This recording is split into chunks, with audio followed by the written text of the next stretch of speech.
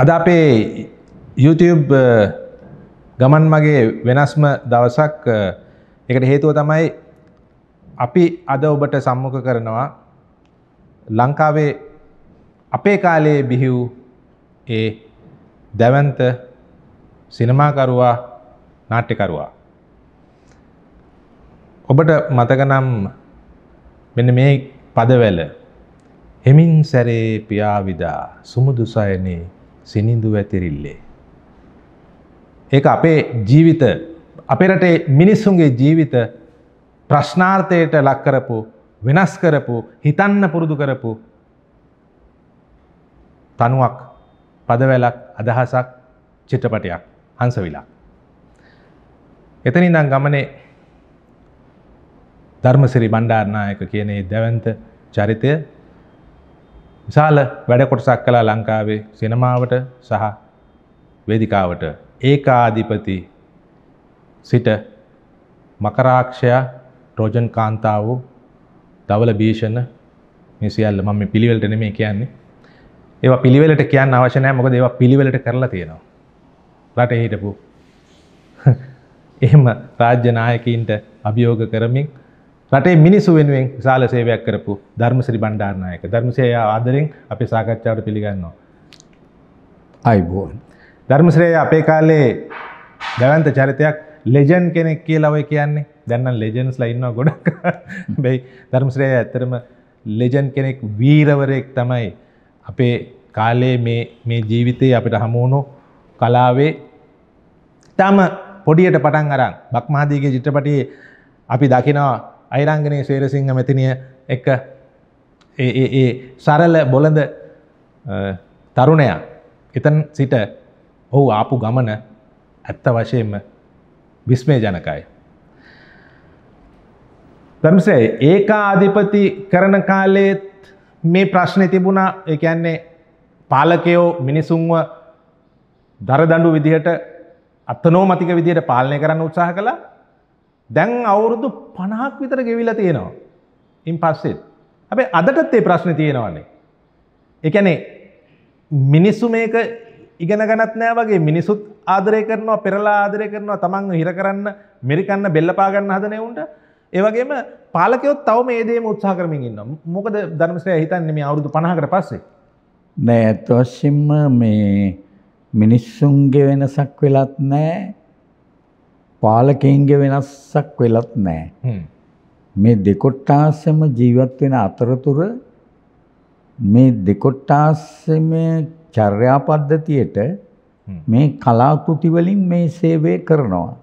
ඉතින් කලාකෘතිවල එක එක ආකාරයට ඒක පරිවර්තනය වෙනවා.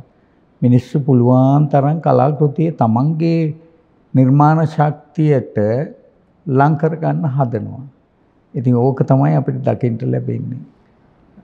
ඒ වුණත් මේ ඔක්කොම දේවල් නරඹපු ඒ කියන්නේ ධර්මශ්‍රේයගේම නාට්‍ය ටික පමණක් කිව්වත් අර අපි නම් කියාපු ඒ නාට්‍ය වලින් කියවුනේ මේ මිනිසුන්ව පෙළන්න තලන්න පෙළන්න උත්සාහ කරන පාලකයෝ ගැන. හැබැයි අපට අදත් හිතෙනවා ඒ ඒ වහල් ගතිය මිනිස්සු ළඟ තවම තියෙනවා. පාලකයන්ට වඳිනවා, හුරේ දානවා. මේක තවම තියෙනවා. ඉතින් මේක ධර්මසිරේ ඔබ නිර්මාණකාරයෙක් විදිහට සතුටු වෙනවද මිනිසුන්ට කියා දුන්නු දේ ඒගොල්ලන්ට යම් ප්‍රමාණයකට තේරිලා තියෙනවා කියලා? නෑ ඇත්ත වශයෙන්ම මේ මම පුදුම වෙනවා මේ මේ රටේ මිනිස්සු තවමත් ඉන්නේ අපි 1970 ගණන් වල කරපු නිර්මාණ කාර්යයට සමීප වෙලා ඒ කාලේ කතා කරපු දේවල් වලට මිනිස්සුන්ට ඒවැ ගෙවදිලා ඉන්නේ ඒවැන් ගෙවල් හදාගෙන අඩුම කුඩුම හේතු කරගෙන එහෙම ජීවත් වෙන මනුෂ්‍ය චර්යා පද්ධතියක් තමයි අපිට දැකින්න ලැබෙන්නේ. ඉතින් මේක වෙනස් වෙන සහ සමාජය සහ මුලින්ම වෙනස් වෙන්න ඕන. එහෙම තත්වයක් අපිට පේන්න නැහැ. ඉතින් මේක කොහොමද කරන්නේ කියන ප්‍රශ්නෙට හේතු හොයන්න ඕන කලාකරුවෝ වශයෙන් අපිත් ඒ වගේම අනිකුත් කණ්ඩායම් සියලුම අය. හැබැයි මේක දේශපාලනික ක්‍රියාවලියක් සම්පූර්ණ සහ සහ මුලින්ම වෙනස් පදනමක් ඇතුළේ වැටලා තියෙනවා. ධර්මශ්‍රය ඇතරම මේ ද අපි ගත්තොත්තේම ධර්මශ්‍රයත් පාවිච්චි කරපු ඒ ඒ සමහර නාට්‍ය පිටපත් ඊස්කිලස්ගේ ඉඳං ගත්තෝ තිරුපිඩිස් ඇරිස්ටපනිස් එතකොට ම්, අ, කවුද සොපොක්ලිස් වගේ අය මේ අය අවුරුදු තුන්හාරදාකට ඉතත් වැඩිය. ඉස්සෙල්ල ඒ ඒ දේශපාලනය කතා කරලා තියෙනවා. එකන මිනිසුන්ව පාගන්න අදපු පාලක ගැන කතා කරලා තියෙනවා. එක අපිට හරි පුදුම කියන්නේ. කැනෙ ලෝකයේ මේ කලාකාරයෙන්ට පුළුවන් වුණාද? නැතන් ධර්මශරය කනගාට වෙනද මේ සාල වැඩ කොටසක් කලා කිසිම වැඩක් වෙලා නෑ වගේ එහෙම අදහසක්ද තියෙන නෑ සමහර අවස්ථාවලදී එහෙම අදහසක් දැනෙනවා. එතකොට තියෙන්නේ කලකිරීමක් ඇයි මොකක්ද මේ මිනිස්සුන්ට වෙලා තියෙන්නේ කියලත් හිතෙනවා. ඒක අපි අනුපිළිවෙලින් අරන් බලන්න ඕකට ඡන්දය හේතු කරගන්න. මහජන ඡන්දය මහජන ඡන්දේ අපි නොහිතපු ආකාරයට දිනන්න ඕන මිනිහන් නෙවෙයි දිනන්නේ වෙන මිනිහෙක් දිනනවා. ඉතින් ඒ දිනනකොට ඒ ඒ ලතවීම ඇතුලේ මිනිස්සු වෙනස් වෙනවා. මිනිස්සුන්ගේ ඒ මිනිස්සු සමහර වෙලාවට ඔරලොර සංහඬ දෙනවා. තමන්ගේ නායකයින් මේගොල්ලොයි කියලා හඳුන්වා දෙනවට මිනිස්සු ඔල්ලොර සන් දෙනවා. ඉතින් මං කියන්නේ මේ කතන්දරය ඇතුලේ මිනිස්සු නොමර මරන්න බෑ. මිනිස්සු මරන්න ඕනයි කියලා කියන්න බෑ. ඒක මං හිතන්නේ කලාකෘති වලින් කවදාවත් කියන්නේ නැති දෙයක්. ඉතින් අපිට මේක සහ මුලින්ම වෙනස් කරන්න වෙනස් පසුබිමක් ඇතුලේ මේ කලා නිර්මාණ ක්‍රියාවලිය සිද්ධ වෙනවා. ඊළඟට අපට මතක් වෙන්නේ ධර්මශ්‍රය දැන්. ධර්මශ්‍රය කලා නිර්මාණ කලා දේශපාලනය ගැන. හැබැයි අපේ රටේ ඉන්නවා ගාමිනි ෆොන්සේක විජයකුමාරතුංගගෙන් පටන් ගත්තාම කලාකාරයෝ හැටියට තවත් විශාල පිරිසක් පක්ෂ දේශපාලනයට ඔවුන්ගේ දායකත්වය සපයපු. ඒ අය හොඳ හිතින් හොඳක් වෙයි කියලා හිතලා එහෙම කරන්න ඇති හැබැයි ඊට පස්සේ විශාල පිරිසක් ඉන්නවා තමන්ගේ වාසීටත් එහෙම කරපු ම දන්න විදිර ධර්මසිරය පක්ෂ දේශපාලනයට සහභාගුණේ නෑ ලංකාවේ. ඇයි උන්න ඇත්තේ. නෑ වශයෙන්ම පක්ෂ දේශපාලනය කරානම් ඒක ලොකු අනතුරක්. කාට දනතුර අනතුර කලාකාරයට ඒ දේශපාලනය නොකර ඉඳීම නිසාම තමයි අපේ පැවැත්ම මේ විදියට හරි නතර වෙලා තියෙන්නේ. අපි සම්පූර්ණයෙන්ම අනුවේදනීය කොටසක් බවට පරිවර්තනය වෙලා තියෙනවා. අපේ ජීවිතත් සෑහෙන දුරට අනු අනුකම්පා සහගත තැන්වලට ඇදගෙන වැටලා තියෙනවා. ඉතින් මේකට අපි හේතුපාට සොය සොයා හේතුපාට කිය කියා ගමන් කළේ නැහැ. අපි පුළුවන් තරම් ස්වාධීනතාවයකින් යුතු මිනිස් කොට්ටාසක් විදිහට ඉන්න උත්සාහ කළා. ඒක තමයි ඒකේ තියෙන ඛේදනීය తত্ত্বය. දැන් ධර්මශ්‍රේ සිනමාවේ ජීවිතය කලාවේ ජීවිතය ඇරුණහම මිනිසෙකුට තියෙන පුද්ගලික ජීවිතයකුත් තියෙනවනේ. හැබැයි අපි දන්න විදිහට හුඟක් ලෝකේ අඩු අයසෙන් තමන්ගේ ජීවිතය නැති නැති වුණු කියන්නේ පුද්ගලික නිදහස හොයාගෙන ගිය කණ්ඩායමකුත් ඉන්නවා. ඒ කියන්නේ අපි ගත්තොත් බොබ් මාලේ මැරලින් මොන්ඩරෝ වගේ අය මයිකල් ජැක්සන් වගේ අය නමුත් ඒවගේම වික්ටහාරා වගේ චිලිය වික්ටහාරා වගේ අයත් ඉන්නවා එකන්නේ දේශපාලනය වෙනුවෙන් අඩුවයිසින් තමන්ගේ මේ මේ හැමෝම අවුරුදු පණහට මෙහැයින් මිය ගිය අය වටිනා කලාකාරයෝ. කලාවයි ජීවිතයයි එකට ගමන් කරපු ගමනේ මම මීට කලින් අවුරුදු ගණනාවට කලින් දමසේත එක මේ සාකච්ඡාව කරලා තියෙනවා. ඒකේ මාතෘකාව වුණේ සිනමාව ජීවිතය සහ සිනමා ජීවිතය. මොකද හිතන්නේ ධර්මශ්‍රයා? ඒ කියන්නේ මේ කලාවට සම්බන්ධ වෙලා ගත කරපු ජීවිතය ධර්මශ්‍රයට අවසානයේ මේ මොහොත වෙනකොට මේ මේ හරියට එනකොට ජීවිතේ එකැන තෘප්තිමත් බවක් තියෙනවද එහම නැත්තම් මේවා මුකුත් නොකර පාඩු හිටියන හොඳයි කියලා හිතෙනවද. අතෘප්ති අතෘප්තිමත් බව තමයි මේක ඇතුල්ලේ තැන්පත් වෙවී වසරෙන් වසර දසකයෙන් දසකයට මේක ඉදිරියට අපි පවත්වාගෙන ගියේ අතෘප්තිමත්ව. අපි කිසිම තැනක තෘප්තිමත් වෙච්ච ස්වභාවයක් තිබුණේ නැහැ. එළියෙන් බලපු මිනිසුන්ට හැබැයි පෙනුණා නිකන් ධර්මසිරි බණ්ඩාරනායක කිව්වම එහෙම ලොකුවට. ඔව්. ඒ ලොකුවට තියෙනවයි කියන කතාවට නෙමෙයි අපි පණ දෙන්න උත්සාහ කළේ. අපි ඒ මොහොතේ ප්‍රේක්ෂකාගාරයට කතා කරනකොට හැබැයි ප්‍රේක්ෂකාගාරයට අපිට දොස් කියන්න අයිතියකුත් නැහැ. ප්‍රේක්ෂකාගාරය සහ හර්දමය වශයෙන් කතා කළොත් ප්‍රේක්ෂකාගාරය ඉතාම අනුවේදනීය තැනකට වැටෙනවා මේ තත්ත්වයන් යටතේ. ද මේ වෙනකොට ධර්මශ්‍රේ ධර්මශ්‍රයගේ පෞද්ගලික ජීවිතයට මේ රටේ මේ රටේ කාගෙන් හෝ ඔබට ආදරය කරන කාගෙන් හෝ එකන්නේ සිද්ධ වෙන්න ඕනි දේවල් ප්‍රමාණයක් තියෙනවා කියලා අපට හිතෙනවා. ඒ සම්බන්ධයෙන් මොකක්ද අදහස? ඒ කියන්නේ කලාකාරයෙක් විදියට ධර්මශ්‍රය හිතනවද? මේ රසිකයෝ හරි රාජ්‍යය හරි කවුරු හරි මීට වැඩිය කලාකාරයක් ගැන එකන්නේ හිතන්න ඕනි කියලා. ධර්මශ්‍රය ගැන නෙමෙයි මං ගැන ඕනම දීර්ඝ කාලයක් තමන්ගේ ජීවිතය කලාවට යොදවපු කෙනෙක් ගැන මිට වැඩිය හිතන්න ඕනි කියලා. අපිට අපි ජීවත් වෙන්නේ අමාරුවෙන් කියන එක තමයි පළවෙනි පැහැදිලි වචනය. අපි වෙනත් අය වගේ ලෝකයට වෙනත් මූණක් පෙන්නගෙන වෙනත් පරිසරයක් තුළ ජීවත් වෙන මිනිස්සු නෙවෙයි. අපිට විශාල වශයෙන් අර සාමාන්‍ය මිනිස්සුන්ගේම ජීවිතවල තියෙන නැති බැරි කමක් අපේ ජීවිතය තුළ තියෙනවා. අපි රැකියාවල් කළාට මහා දවැන්ත ධනස්කන්ධයක් අපි ගෙදර ගෙනියන්නේ නැහැ. අපේ වෘත්තියමය තත්ත්වයත් හරිම අඩාලයි. අපි හැකි තාක් දුරට වෘත්තියමය වශයෙන් තමන්ගේ රැකියාවේ තත්ත්වය ආරක්ෂා කරගන්න උත්සාහ ගත්තා. ඉතින් මෙන්න මේ වගේ කරුණු නිසාම අපිට ලෝකේ දිහාට ගමන් කරන්නට අපහසු වෙලා තියෙනවා. ඉතින් මේක හොයා බැලිය යුතු කාරණාවක් වනකොට හරි අනුවේදනීය තත්වයක් මේ කාරණාව ඇතුළේ තියෙනවා. ඉතින් ඒක සොයා බැලුවොත් අපිට යන්තමින් හෝ ජීවත් වීමට පුළුවන් හැකියාවක් පදනමක් ගොඩ නැගෙනවා.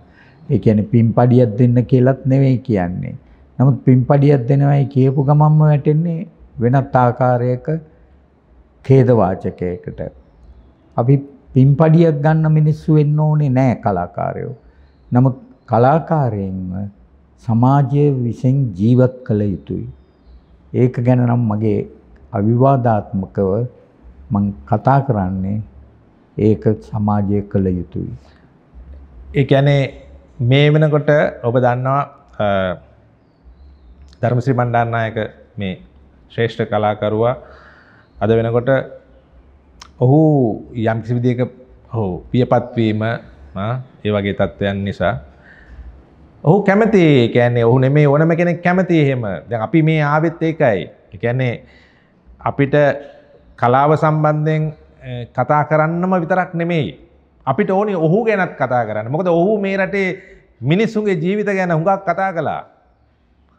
ඔහුට පුළුවන් කාලේ වෙර වීරිය තියෙන වැරවීරිය තියෙන කාලෙ කතා කරා. එතකට දැන් ඔහු ගැන කතා කරන එකත් මේ රටේ අපි හැමෝගම යුතුකමක්. ඒක නිසා අපි යෝජනා කරනවා ඒ අදාළ ඕනෑම කෙනෙකුට හැකි ඕනම කෙනෙකුට හොයා බලන්න.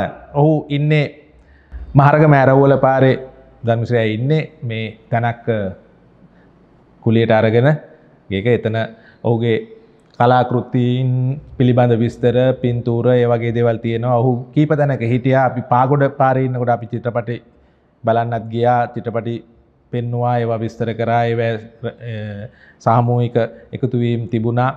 ඒවගේ මිටස් රාජගිරී හිටියා. ඔහොමෝම මේ හැම දෙයක්ම පෙන්නුම් කළේ ඔහුට නොනාවතින ආසාාවක් අනවරත අරගලයක් තිබුණ කලාවත් එක. ආයෙත් කලා නිර්මාණයක් කරන්න කවරු හරි දිරිපත්තුනොත් ධර්මසයට හිතේ හයිය ඇගේ ගතේ හයිය කොහොමතත් හිතේ හයිය තියෙනවද. අනිවාර්යෙන්ම. මම ආසාාවෙන් කැමැත්තෙන් කරනවා. හැබැයි එදාට වඩා අද වෙනකොට පොඩි මන්දගාමී ස්වරූපයක් තියෙනවා හැම ක්‍රියාවකම. ඒක මගේ ශක්තිය ප්‍රහීන වීගෙන යන නිසායි ඒක වෙන්නේ. ප්‍රහීන වෙනවා කියන්නේ නැත්තට නැති වෙනව නෙවෙයි. ඒ කියන්නේ ඉස්සර අමාරුවෙන් උස්සපු ගලක් දැන් උස්සන්නේ දෙවරක් හිතලා දෙවරක් කල්පනා කළා යන්නේ කල්පනා කරන්නයි හිතන්නයි ගත වෙන කාලය අනිත් අයට ඉවසා සිටින්නට සිද්ධ වෙනවා. ඉතින් පුළුවන් තරම් එහෙම කල්පනා කරලා කරන්න පුළුවන් වැඩ කොටසක් තියෙනවා නම් සම්බන්ධ වෙන්න මං හරි කැමැති. ඒ සම්බන්ධතාවයෙන් යමක් නිර්මාණය කරන්න කැමැති. ඔව් ඉතින් ඒකට අවස්ථාවක් තියෙනවා නම් මං ඒකට පසුබට වෙන්නේ ඔව්. ඒ තමයි අ, ඇත්තටම මේ ධර්මශ්‍රයගේ ඒ කතාවේ තියෙන්නේ. එයාගේ ගතේ හයියට වැඩිය හිතේ හයිය තියෙන්නේ මොකද? නො- නොනවත්වා. නොනවත්වා. ඒකාධීපතිය එක්ක. ඒ කියන්නේ ඒක මුළු ලෝකෙම ඩික්ටේට කියන එක මුළු ලෝකෙම තියෙන එකක්. එදත් තිබුණ ආදත් තියෙනවා. අදත් පනත් ගෙනහල්ල උත්සාහ කරන්නේ ඒකම තමයි. ඉතින් ඒකට විරුද්ධව තමයි මේ සටන ගෙනිච්චේ. ධර්මශ්‍රය මේ සටන ගෙනනිච්චේ ඒ හැම නාට්‍යකම මකරක්ෂා වෙන්න පුළුවන් ට්‍රෝජන් කාන්තාව වෙන්න පුළුවන් දවල භීෂණ වෙන්න පුළුවන්. මේ හැම එකකම තිබුණේ ඒ ඒ සටන.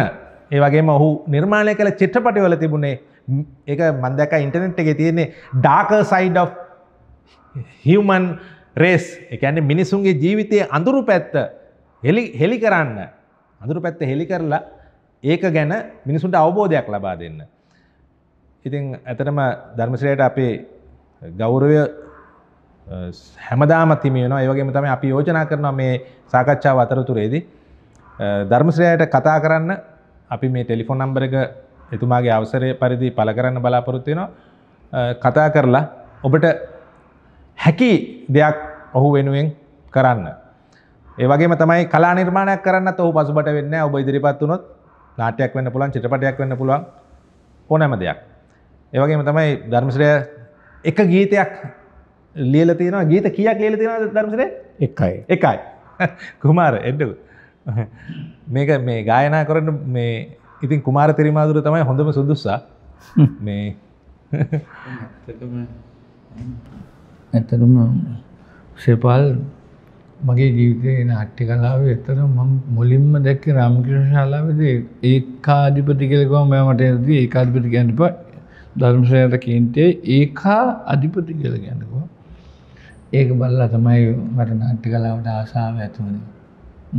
ඊට පස් තමයි නේ නැක සූදු බැලිය හොම හොම බල්ල තමයි නාට්‍ය කලාවට ආසාාව ඇතු හොම එනකොට මට එකමතින් දුක ඉතින් මකරක්ෂාව නාට්‍යටික ඔක්කෝම් බැලුව. ඉතින් දවල භීෂණ අපිට ඉතින් ඒ කාලේ ඉතින් මං අද ප්‍රසිද්ධිය කියනවා. එදා සිරිමාවගේ ආණ්ඩුවනට හැත්ත ගණන්වල ඒ ආ- ඒකට එතන්ට ගහනවා. එතකොට මකරක්ෂයගේ ජේ ආර්ධ ආණ්ඩුවකට ගහනවා. මන්දන්නම කෙව්වද කියලා. දවල භීෂණයකින් ප්‍රේමදාසගාන්ටුවට ගහන ඉතා බයනැතුව තමන්ගේ මේ වීරත්වය පෙන්ඩපු නාට්‍යකරුවෙක් ඒකට මං ඔබතුමාට වදින බොහොම සන්තෝෂ. ඒම නාට්‍යකරුව තමයි අපිට ඕන. පවනට සැලෙන.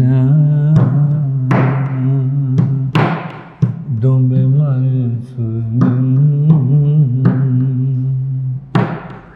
ආදරුමන් සිතට දෙනයිදෝ සවනට කොඳුරා පවසන වදනින් ආදර හැඟුමන් සිතට දැනීදෝ. තනනන තනනන තනනන තනනන තන් දුම්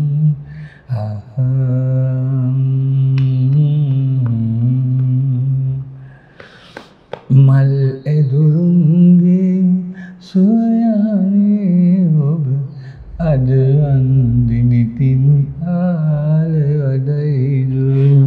මා ඇකයේ සිට පොඩිපුතු හඳනා ඒදුත් බරහඬ ඔබට ඇසේදු එන ධර්මශ්‍රය අපි මේ සාකච්ඡා මෙතනින් හමාර කරන අපි කුමාර තෙරමාදුර සෞදයටත් ස්තුතිවන්ත වෙනවා. අපිත් එක්ක මේ අ, අපේ ජීවිත කාලයේදී අපට බොහෝ දේ ඉගැන් වූ අපේ කලා ගුරුවරය එවගේම තමයි රසවතා. ජීවිතය කලාව සියල්ල අපට ඇස්පනා අපිට කියා දුන් ධර්මසිරි බණ්ඩාරනායක. මම මට මේ වැඩසටහන යනවා කියලා මට කෝල් එකක් දුන්නම සේපාලට බලෙන් තමයි මේ ආය ධර්මශ්‍රී යම්බින් යනවා. ධම්මෝ මට ආසයන්නේ කියලා ආවයා බලාත්කාරයෙන් ගමන. ඒක ඒක හැමෝම එහෙමයි. ධර්මශ්‍රයා ගැන මං හිතන්නේ මේ ගොඩා කලබල මැද්දේ මේක අමතක වෙලා ඇති බොහෝ දෙනෙකුට නැත්තම් මතක් මතක් වුණොත් මතක තිබුණොත් දැනගත්තොත් අපි වගේම හැම හැම කෙනෙක්ම කැමති ධර්මශ්‍රය බලන්න එන්න. ඉතින් අපි ආරාධනා කරන ඔබට ඔහුව සතුටින් තියමු. ඔහු අපිව සතුටින් තියන්න ඔහුගේ මුළු ජීවිත කාලයම වැය කළා එකින්ද අපි ඔහුවත් සතුටින් තියෙන එක අපේ යුතුකමක්. එහෙනම් සෞර්දේනේ අපි ආයෙත් මේ වගේ වැඩසටහනකින් හමු වෙමු. මේක අපේ වැඩසටහන් පෙළේ අලුත් ආරම්භයක්.